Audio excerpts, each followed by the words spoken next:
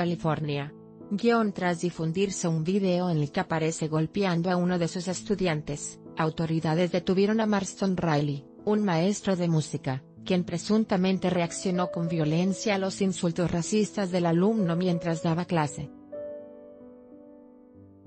En las imágenes se ve al profesor dándole puñetazos al alumno, de 14 años. Los hechos ocurrieron durante una clase en Maywood Academy High School.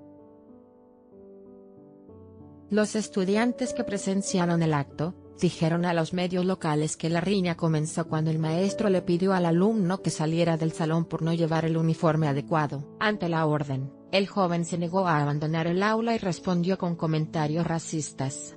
Riley reaccionó de forma violenta y el alumno tuvo que ser hospitalizado.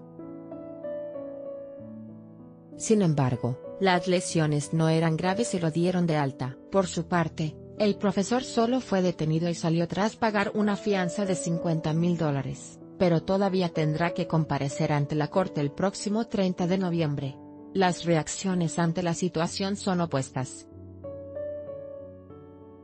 Los partidarios del profesor crearon la página GoFundMe para recaudar fondos para sufragar sus gastos legales. Hasta el momento reunieron más de 20 mil dólares. Guión Redacción